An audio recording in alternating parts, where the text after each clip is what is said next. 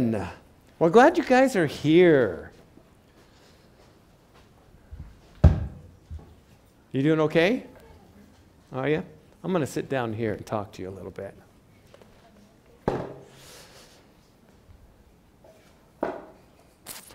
You know, um, we're living in a very interesting time, aren't we?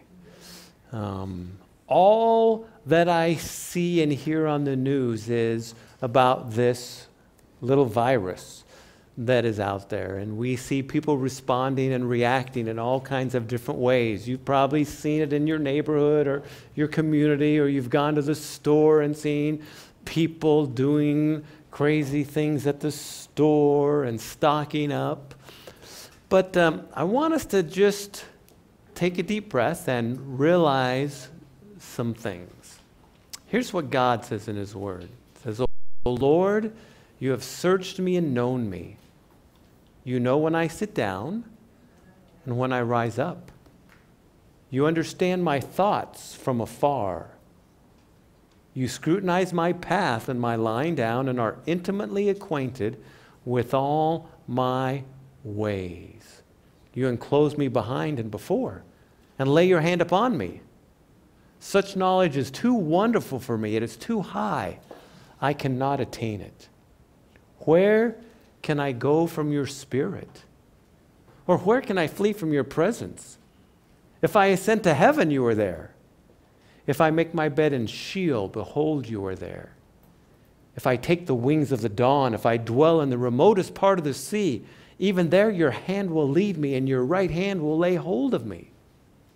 If I say, Surely the darkness will overwhelm me, and the light around me will become night, even the darkness is not dark to you, and the night is as bright as the day.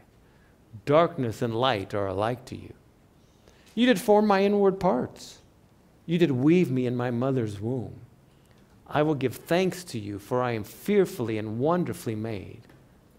Wonderful are your works, O Lord, and my soul knows it very well. My frame was not hidden from you when I was made in secret and skillfully wrought in the depths of the earth. Your eyes have seen my unformed substance, and in your book they were written, the days that were ordained for me, when yet there was not one of them. How precious are your thoughts to me, O God, how vast are some of them. If I should count them, they would outnumber the sand on the sea.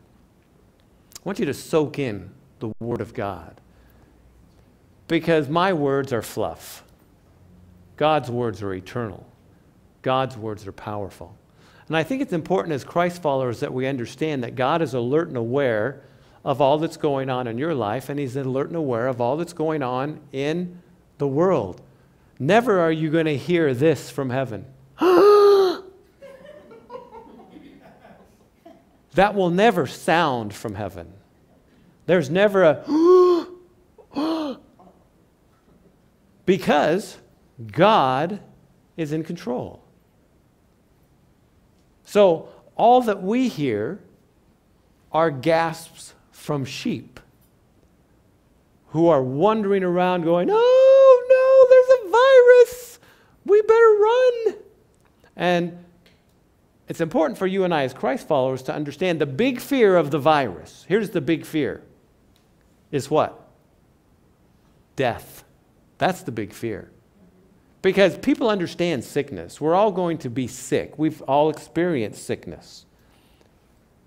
That's not the fear. The fear isn't that I'm going to get sick. The fear is I'm going to what? Die. And that's what people are so backing away from is I don't want to die. I don't want to give this virus to someone who will die. I don't want to, as I heard on CNN, I don't want someone, one of my loved ones, to die before their time. Do you realize today, as we sit here, that no one dies before their time? The Bible tells us that the Lord has ordained the day that you and I will die. Maybe it's from coronavirus COV 19. Maybe it was from the swine flu 10 years ago, H1N1. Maybe it was from Ebola. Maybe it's from a car accident. Maybe it's from a heart attack. Maybe it's from a brain hemorrhage. Maybe it's from whatever it is. Everyone will die. So I want us all to just understand the reality that the world's responding in fear to death. But as a Christ follower, we do not have to fear death.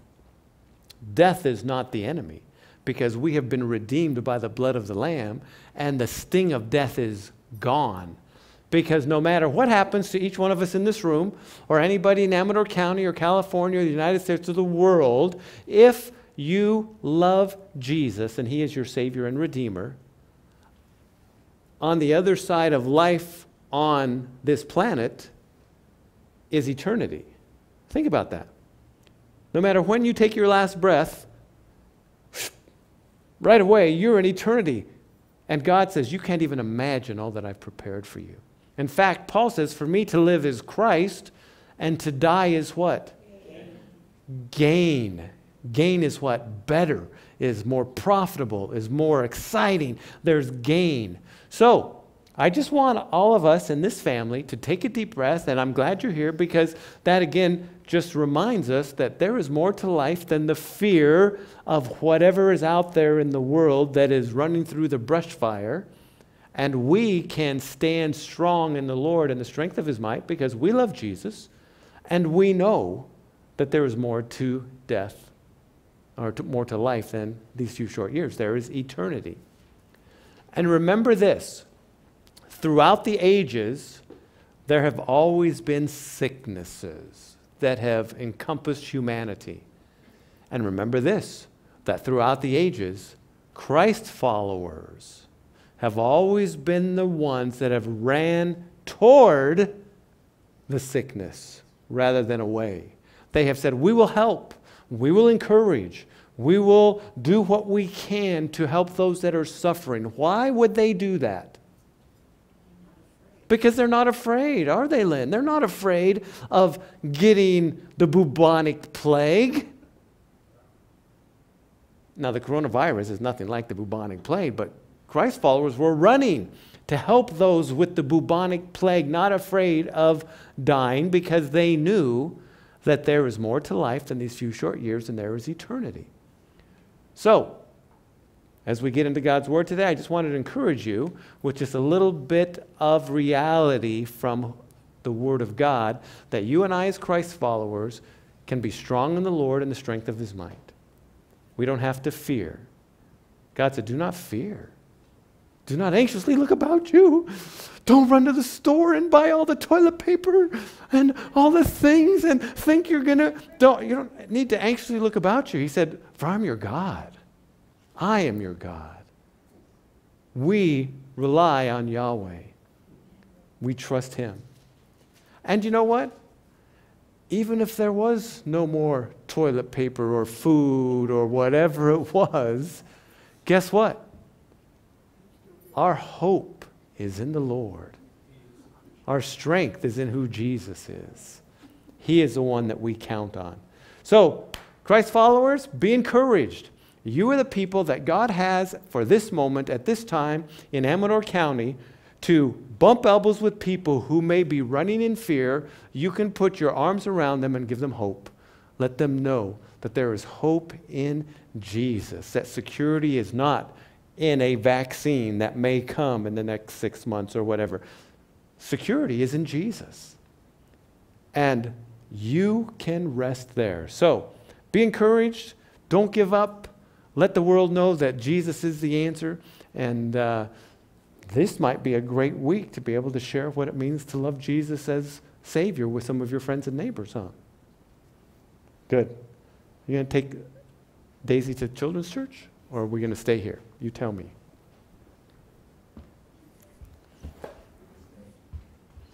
Now, you are welcome if you want because I feel like you are a little bit more intimate. If you want to scoot close, or if you say, no, I need six feet of distance from everybody, so I'm going to stay away. But um, if you feel comfortable, I'm going to invite you, everybody, to scoot up just a little bit so that we're a little bit more um, cozy. So, let's be a little cozy today. A little cozy. Unless you feel.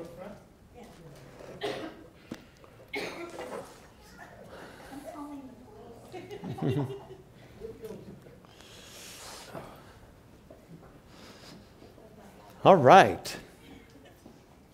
2020, we're now two and a half months into this brand new year. And as we've started this year in this church, we said we want to be reminded that being strong in the Lord and the strength of his might is key because there's so many things going on, so many changes, so many crazy ideas that have come in and, and made a difference in the world. So we want to be strong in the Lord and take advantage of his strength, don't we? And part of that reality is putting on the armor of God that we've been talking about over the past few months, because that armor is what the Bible tells us we need in order to stand strong against the schemes of the devil and to resist in the evil day. We've, all, we've learned do we get this armor automatically when we become a Christ follower? No. We get salvation when we become a Christ follower. And when we become a Christ follower, we step across the line into the enemy's camp because the enemy does not want Christ followers to succeed and gain the strength of the Lord. That's why God says, put on this armor because now you're going to be attacked. And we've learned that this armor is not something that you put on and off, is it? It's something that you put on permanently, right, Randall? Yes, sir. Because it's needed in the battle. Everybody with me? Somebody tell me what this is. Okay, the Bible says to gird our loins with what? Truth. Truth. And what does that mean? Gird our loins with what? That with Jesus, we looked at the Word and we saw that God, His attribute is truth. He is absolute truth. Jesus is God in the flesh. His Word is truth. So if we're going to gird our loins with truth, at the core of who we are needs to be Jesus and His Word, right? If that is reality, then we are well on our way to standing firm against the schemes of the devil. We then talked about what? The breastplate of righteousness or the bulletproof vest of righteousness. And what is righteousness? Right living. Okay? Now, right living is determined by culture, correct? No, it is not. Right living is determined by the Word of God. The Word of God. So, righteousness, right living is what happens when a person becomes a Christ follower and God begins to change them from the inside out. It's their actions and their behavior, and that protects their spiritual heart or the real person, who they are. Because when you are living righteously or with right living, you don't have to worry about the IRS knocking on your door, do you? You don't have to worry about the sheriff arresting you in the middle of the night. You don't have to worry about your neighbor's husband coming over and getting revenge. You don't have to worry about losing your house because you've gambled it all away at the casino. Because of what? Righteousness. That protects the real you. So we've talked about girding our loins with truth, righteousness. We've also talked about what? Shodding your feet with the gospel of peace. What is that? What did we say that is?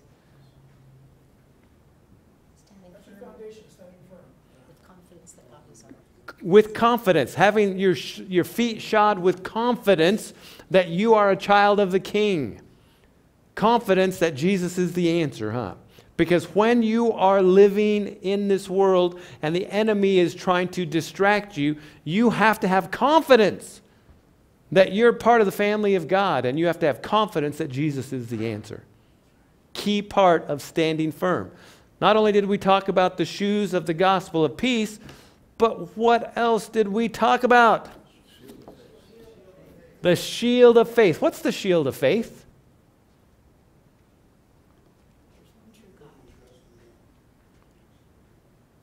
Giving you a little test this morning. What's the shield of faith?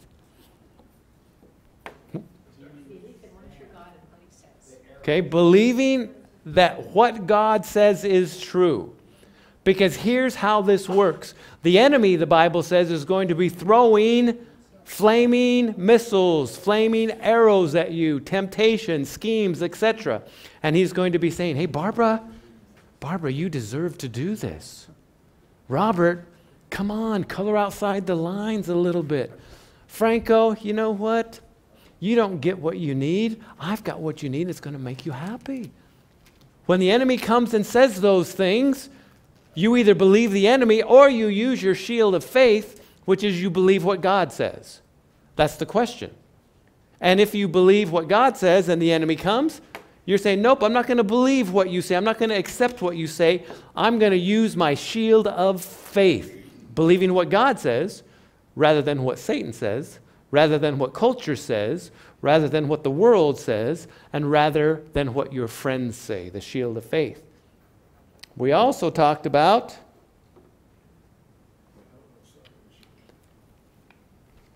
the helmet of salvation.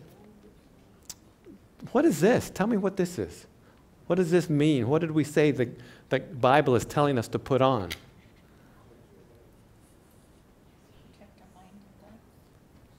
Something for our minds.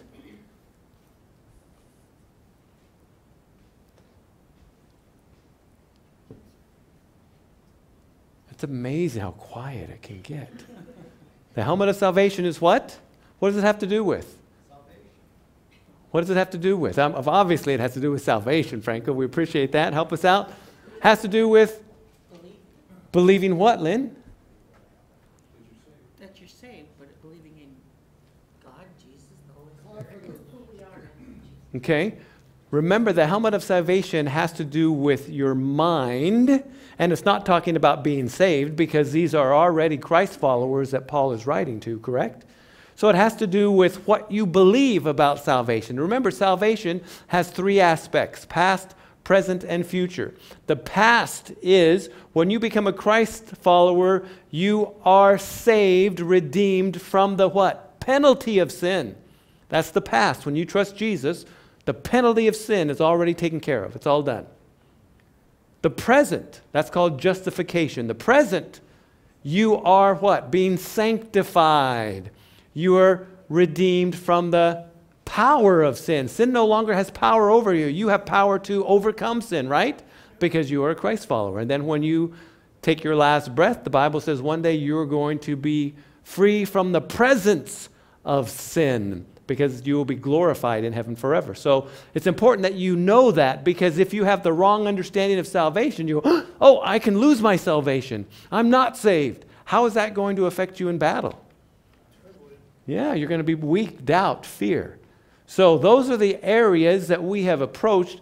And there is one more piece of armor that we are going to talk about today. And so it's important that we open our Bibles. Did you bring your Bibles today? Hold them up. Repeat after me. This is the Word of God. It's more powerful than a two edged sword. And I love the Word of God. Father, thank you again for your word. Use it today to bring us closer, allow us to see clearly what it is that you have for us. And we pray this in your powerful name, Jesus, and all God's people said, Amen. Amen. Guess where we're at?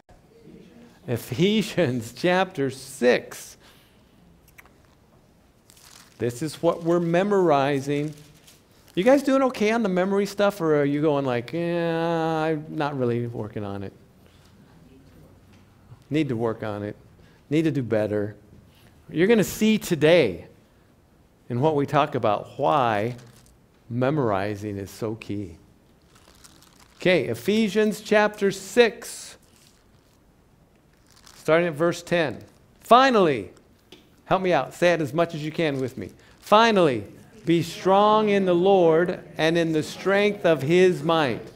Put on the full armor of God so that you may be able to stand firm against the schemes of the devil. For our struggle is not against flesh and blood, but against the rulers, against the powers, against the world forces of this darkness, against the spiritual forces of wickedness in heavenly places. Therefore, so that you may be able to resist in the evil day. Done everything to stand firm. Stand firm, therefore, having girded your loins with truth, and having put on the breastplate of righteousness, and having shod your feet with the preparation of the gospel of peace, in addition to all, taking up the shield of faith with which you will be able to extinguish the flaming missiles. Oops, uh, my fault, that's the old version. All the flaming arrows of the evil one, helmet of salvation, and the sword of the Spirit, which is the Word of God, with all prayer and petition.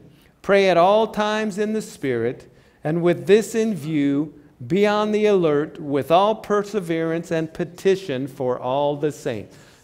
You know, by the end of the year, you're going to say, I got that down. No problem. So, we're going to start today with the final piece of the armor.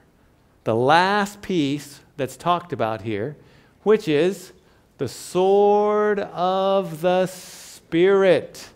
The sword of the Spirit. And here's a couple things I want you to know as we begin to unpack this picture because this is a weapon that is meant for us to use as we stand firm against the schemes of the devil. The sword of the Spirit that is talked about here in Ephesians chapter 6 is not a large sword that soldiers would use in battle that they would take with two hands. And remember, they were trying to heave it over the shield to try and make that devastating blow on a helmet. That's not the sword that is talked about here. The sword that is talked about here is a small sword or a dagger, anywhere 12 to 18 inches long, that is designed to be used in hand to hand combat. That's the sword that is talked about here in Ephesians chapter 6. The sword. Important. With all the other pieces of armor, these are all used to keep you standing firm against the blows of the enemy, against his schemes, against his flaming arrows, missiles. This is the only piece that God has designed for what? Mm-hmm. It's for the offense part, the offensive part of this picture. This is to be used in hand to hand combat with the enemy when you are being attacked. The sword. Okay? Now, the Bible says this is the sword of the Spirit. Who's the Spirit? God the Holy Spirit. This is a weapon that is designed by the Holy Spirit, and He gives it to you and I to be used in the spiritual realm. This is the one piece that is designed to cut through time, space, and matter into the invisible realm that Paul is talking about here in Ephesians chapter 6. The sword of the Spirit, the Holy Spirit has given you and I a weapon that can be used in our lives for whatever's happening to you right now that can pierce through time, space, and matter into the invisible realm where this struggle that Paul is talking about is going on. Make sense? So, the sword of the Spirit, which is what? Which is the Word of God. Now, nothing could be more fundamental to you and I in human knowledge than that God has caused His Word to be written down in a form which man can comprehend. Think about that for just a minute. God has caused His Word, allowed His Word to be written down in a form that you and I can comprehend. Whew. And He's preserved this Word, His Word, through the ages of human history so that you and I can have that Word today. God's Word is the accurate recording of truth. God's Word is the accurate recording of truth. It is God breathed. Just think of his God's breath. This is God's breath. It is his truth that has been accurately recorded for you and I as his children to use in 2020. It is divine revelation. What is divine revelation? What does that mean? From God is divine. It is not human, is it? It is divine revelation.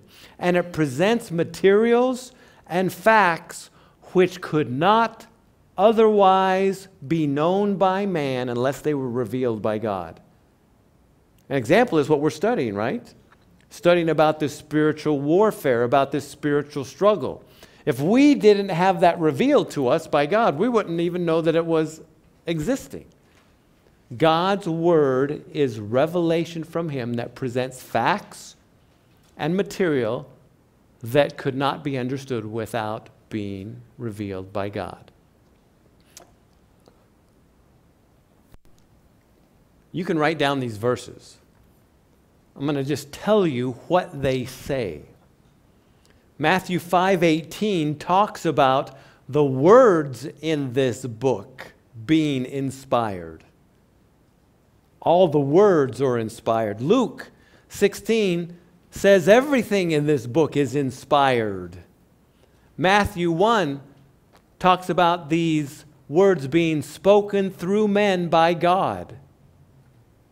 Acts 28 says the Holy Spirit spoke through men. Psalms 19 tells us that this is perfect. The law of the Lord is perfect. 2 Timothy 3:16 tells us that all scripture, not just some of it, but all scripture is inspired by God. Hebrews 4:15 tells us that the word of God is living and active and sharper than a two-edged sword. We quote that every Sunday as we hold up God's word. 2 Peter 1 tells us that God acted in writing this book. Isaiah 40 talks about God's words standing forever. And Matthew 24 reminds us that God's words will never pass away. There is no other book, no other book in existence that can claim all these things but God's Word. This is the Bible. And it is key for all of us as Christ followers to understand that this is a very important part of our spiritual armor the Word of God. I'm going to take you a little deeper. You ready to go a little deeper? When we open the Word of God and we read it, what we're going to find is there are actually three different words that are used in the original language talking about this book. Three different words. We're going to explore those a little bit this morning to help us understand exactly what the Bible is talking about when it talks about this the sword of the Spirit. The first word that the Bible uses, oops, let's go just to the one. The first one is the word graphi. Take your Bibles and open up to Matthew chapter 21. I want you to see where this word is used. Matthew chapter 21.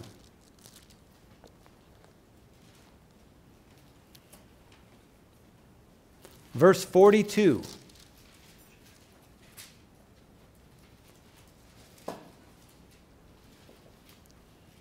Matthew 21, verse 42.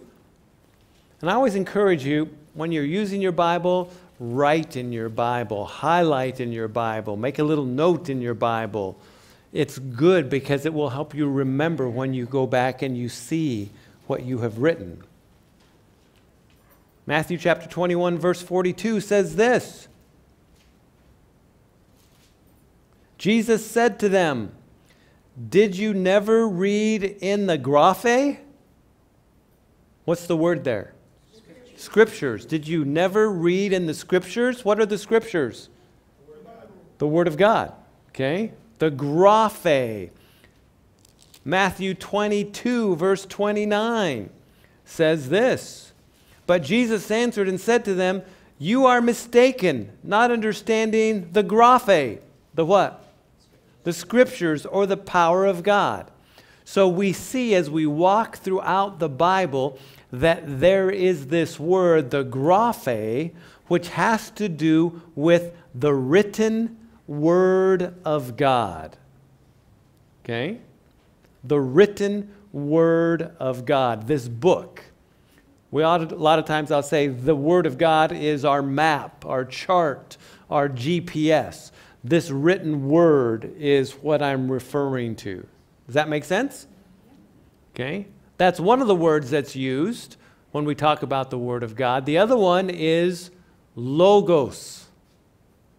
You're probably more familiar with this word. You might have heard it a little bit more often. The logos is the living Word of God, the message that is given, the living Word or the message, the divine expression of the Word of God. Take your Bibles and turn to John chapter 1, a verse that you probably are familiar with. John chapter 1.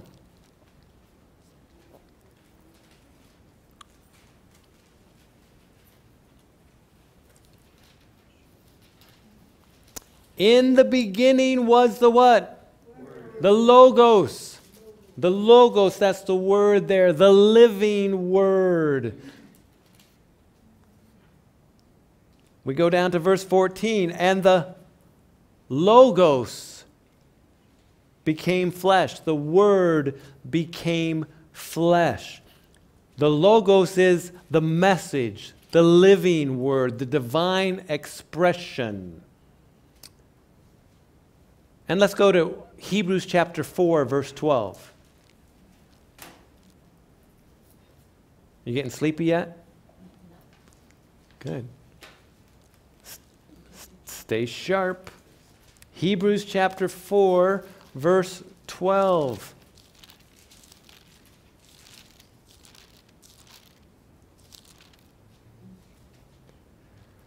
For the word, guess what word that is there? The Logos. For the Logos of God is living and active and sharper than any two edged sword and piercing as far as the division of soul and spirit of both joints and marrow, and able to judge the thoughts and intentions of the heart. A verse we've memorized. So when it says the Word of God is living, the Logos, it's talking about when you receive the message, when you receive the message of God and it impacts your life, that's the Word of God, the living Word of God. There's a difference between carrying the Word of God, right? Carrying, you're carrying the graphe, aren't you? When you hold on to this and you walk, you carry the graphe. When you open up the Word and you read it and it makes an impact in your life, what is that? That's the logos, okay? So just because you carry the Word of God doesn't mean it's being powerful in your life. It's living in your life, is it? You're just carrying a map. You're just carrying a chart. the Word of God. But the Logos is the living Word of God, the divine expression, that which makes a difference in your life. So, when, example, if opening up the Word, we're studying it on a Sunday, and you go, wow, that's powerful. I like that. I get it. What is that? That's the Logos, the living Word, okay? That's what makes an impact in your life. Now, I've got to tell you, neither one of those words are the words that are used in Ephesians chapter 6. So when the Bible says that God has given us this sword, the sword of the Spirit, which is the Word of God, He's not talking about the written word that, that you carry around. He's not talking about the living Word. There's another word that is used there, and that word is called the rhema.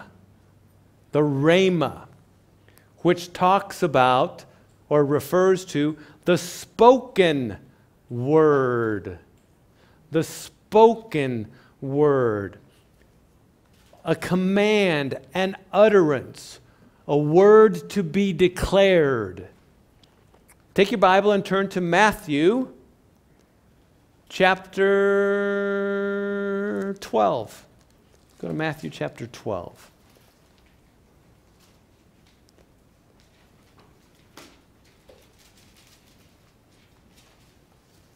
Word that is declared. Okay? Rhema. Matthew chapter 12, verse 36 says this And I say to you that every careless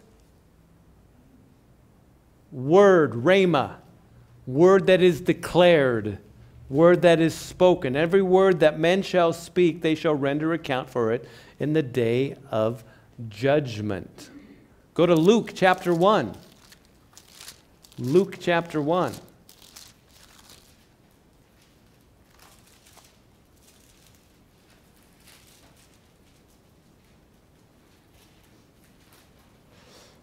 Verse 37 and 38 says, For nothing will be impossible with God. And Mary said, Behold, the bondslave of the Lord, be it done to me according to your rhema, to your spoken word. And the angel departed from her. So there are three different words there is the written word, the graphe, there is the living word, which is the Logos, which as you read the word and it speaks to you, that's the Logos. Then there is the Rhema word, the spoken word of God. No, these are Greek. Greek. Good question, Lynn. So when we're talking about the Rhema word of God, the spoken word of God, that is the weapon that is being spoken of here in Ephesians chapter 6. So, what God is not saying, He's not saying as you carry around your Bible, that is your weapon. Is He? Okay? He's not saying as you read your Bible, that is your weapon, is he? What is he saying? As you what? As you speak spoken word, as you speak the Bible, that is your weapon. Now, I'm going to say this, I'll say it again a little bit later. You see the written word you read the word, and as you read the word, you understand the word. So the graphe you read, the logos is what makes an impact, and the rhema is what you use in battle. If you do not open up the graphe and understand the logos, you will never have the rhema for the battle. I want to say that one more time because you got to catch this. Okay? If you do not open up the graphe and understand the Logos, you will never have a Rhema word for the battle. Does that make sense? Okay? So, as we are walking through this picture, it is important that we understand that if we're going to succeed in battle, we have to have the Rhema word of God. Think about this. There's a spiritual struggle that's going on. There's a spiritual battle. You are in the battle. And the enemy is impacting your life, whether it's through culture, through temptation, through sin, through his schemes. He is throwing his arrows, his missiles, his fiery missiles at you. And you have got your armor and you're trying to stand strong against there. But you have got to do something to, to stop this, to stop this attack, to stop this struggle. What do you need to use? Your Rhema, the Rhema word of God. There's a lot of Christ followers, instead of using the Rhema, they say, Well, this is what I think. This is my opinion. This is what my friends say. This is what the doctor told me. This is what my psychologist said. But they don't use the Rhema. Do you realize that Satan is not afraid of your words, Barbara? He's not afraid of my words. This is my opinion, Satan. Satan goes, Get out of here. I'm going to squish you like a little cockroach that you are. Okay? This is, this is what my mama told me. Satan goes, I don't care what your mama told you. I'm going to squish you like a little cockroach. This is what my daddy says. This is what my friends say. This is what Dr. Phil says. This is what Oprah says. This is what CNN says. Satan goes, I'll squish you like a little cockroach because I am not afraid of your words. What is Satan afraid of? The Rhema, the spoken word of God. And I'm going to take you to the best illustration in all of the Bible. Open to Matthew chapter 4. Matthew chapter 4.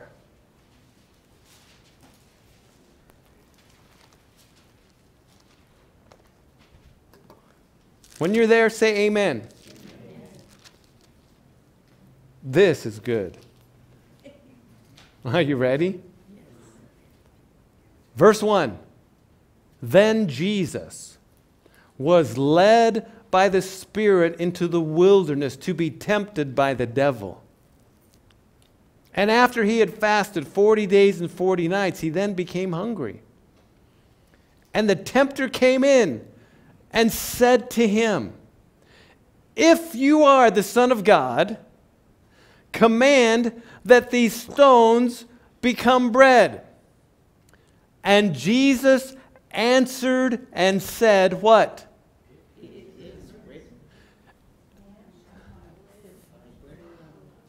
It is written. He pulled out the Rhema, didn't he? He pulled out the Rhema and he said, It is written, man shall not live on bread alone, but on every word that proceeds out of the mouth of God. The Rhema. Satan says, Okay, enough of that. And what happened? He said, Okay, we're not going to worry about that. Let's go on to something else. Because the Rhema was a problem, wasn't it? The Rhema was a problem. So the devil took him into the holy city and he had him stand on the pinnacle of the temple and said to him, You are the Son of God. Throw yourself down, for it's written, He will give His angels charge concerning you, and on their hands they will bear you up, lest you strike your foot against a stone. Jesus then says, On the other hand, it is written, pulls out his rhema. You shall not put the Lord your God to the test. Again, the devil took him to a very high mountain and showed him the kingdoms of the world and their glory. And he said to him, All these things will I give you if you will just fall down and worship me. That's what Satan has been wanting from the beginning for God to worship him. And Jesus said to him, Begone, Satan. For it is what? It is written, You shall worship the Lord your God and serve him only. Then the devil what? Left him. Jesus used the Rhema word of God in the battle. That is key for us to understand because as we walk through this picture and as we deal with the enemy, God has given us the armor that we need to stand firm as the enemy tries to push against us and get us off target. But the Holy Spirit has said, I'm going to give you a weapon, a weapon that you can put in your hands that can pierce through time, space, and matter into the invisible realm. And when that weapon is put into the invisible realm, it makes a difference in your life and in the struggle. But you know, we have a problem as Christ followers. Because there's a lot of Christ followers that will never use the Rhema, the spoken word. Satan knows that. He knows they'll, they'll say, well, here's what, here's what my mom told me. Here's what my dad told me. Here's what my husband told me. Here's what my friends told me. Here's what the doctor told me and they will never say, wait a minute, here's the word. Here's the word. I urge you, therefore, brethren, by the mercies of God, to present your bodies a living and holy sacrifice, acceptable to God, which is your spiritual service of worship. And I'm not going to be conformed to this world. I'm going to be transformed by the renewing of my mind, so that I may prove what the will of God is, that which is good and acceptable and perfect. Take that, Satan. Right? That is the Rhema. But if a Christ follower is not going to open up the graphe and let the logos speak to them, they will never have a Rhema word. And you know why so many Christ followers struggle? They go, man, the pressure's on, the struggle's on. I feel so, I don't feel like anything's happening because they never use the Rhema. They never do. You see why it's so important to get the Word of God off the page and into your life? Because it's a weapon. It's a weapon designed to pierce through that invisible realm that you and I can't see. You and I may have put on the armor that says, okay, we're going to stand firm as the enemy tries to prevail against us, but we have nothing to keep him away. So here's my encouragement to you today. Do you have one of these? Or do you just carry this around. There's a difference between these two. You know what? Some people just carry this around and go, hey, you know, I, I hold on to my Bible, and then they put it in the back seat of their car, and it goes under their coffee table, and the enemy comes and attacks. And they go, What am I going to do? What am I going to do? They never pull out the Rhema. Because they haven't been in the graphe, letting the logos speak to them. You know, you can't make up Rhema words. You can't make them up. And Rhema words, God's word, is the only word that will pierce through that invisible realm and make an impact in the spiritual battle. So we have a choice. We have a choice, Christ followers. Use a rhema or sit at home and let the enemy attack you. So, wherever you are, go farther. If you have if you haven't been opening the graphe, start opening the graphe. If you haven't been reading and allowing the logos to speak to you, let it speak to you. And then you need to get that rhema off the page and into your life so that when the enemy comes, you can say, The law of the Lord is perfect, restoring my soul. The testimony of the Lord is sure, making wise the simple. The precepts of the Lord are right, rejoicing my heart. The commandments of the Lord are pure, enlightening my eyes. The fear of the Lord is clean, enduring forever. The judgments of the Lord are true. You can use the word of God and you can say, I'm not going to do that. Because you have the spoken word of God. God has given you a weapon, He's given me a weapon. Speak Rhema words in the midst of the battle, and you will see, as the Bible says, submit yourself therefore to God, resist the devil, and he will flee from you. How did Jesus resist the devil? The spoken word. He didn't go, oh, well, I have an idea what I should do here. He spoke the word of God. So, Randall, when you're struggling, the enemy's coming, use the Rhema. Anna, when the enemy comes and tries to get you depressed and say, God's not going to do that, use the Rhema. Use the Rhema. You know, that's true for Paul. Down in his shop down there on Main Street, the enemy comes and says, Paul, you, no, you can't. Use the Rhema and say, Yes, I can. I can do all things through Christ who strengthens me. Take that, Satan. Huh? So,